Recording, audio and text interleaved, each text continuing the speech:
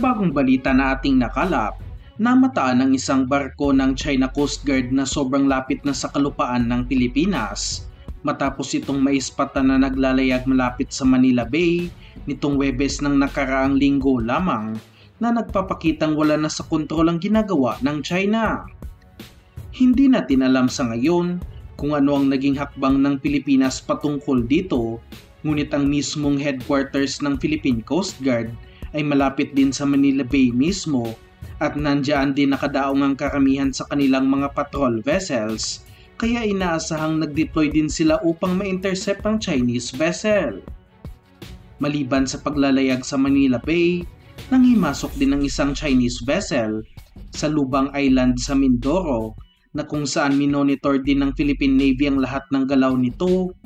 at nagbigay ng ilang beses na warning sa barko ng China.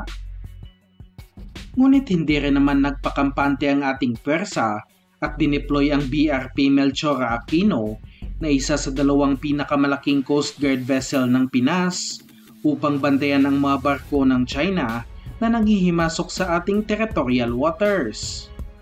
Ayon sa tagapagsalita ng Philippine Navy, hindi umano nakakaalarma ang mga ganitong galaw ng China dahil bantay sarado nila ang lahat ng kilos ng Chinese vessels sa tulong na rin ng ibang bansa katulad na lang ng Amerika.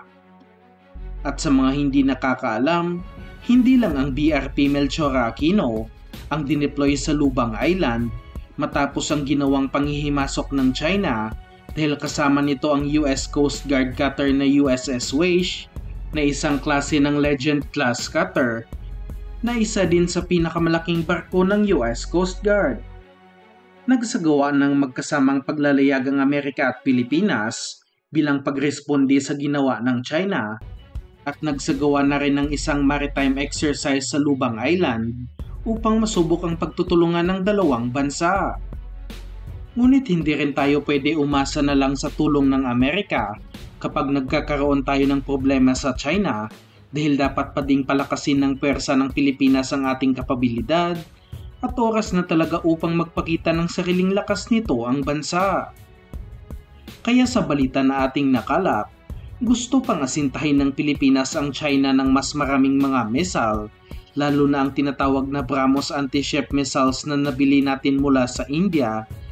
at kasalukuyang ginagamit ngayon ng Philippine Marine Corps. Kung ating matatandaan, bumili ang bansa ng nasa tatlong batteries ng BrahMos missile at ang tatlong baterya na ito ay mayroong nasa siyam na missile launchers at lahat ng ito ay nagkakahalaga ng nasa 18.9 billion pesos. At sa bagong balita, sinasabing bibili pa ang Pilipinas ng karagdagang apat na baterya at ang dalawa nito ay mapupunta sa Philippine Marines ulit kaya kung matutuloy ito ay magkakaroon na sila ng limang batteries ng BrahMos missile o nasa labing limang launchers samantalang ang dalawa namang natira ay mapupunta sa Philippine Army. Kailangan kailangan ito ng bansa sa ngayon, hindi para sa gyera, kundi ipakita lamang sa mga nanghihimasok sa ating territorial waters na kapag nagpakita sila ng malaking banta sa ating seguridad, ay kaya silang palubugin ng ating hukbong sindatahan.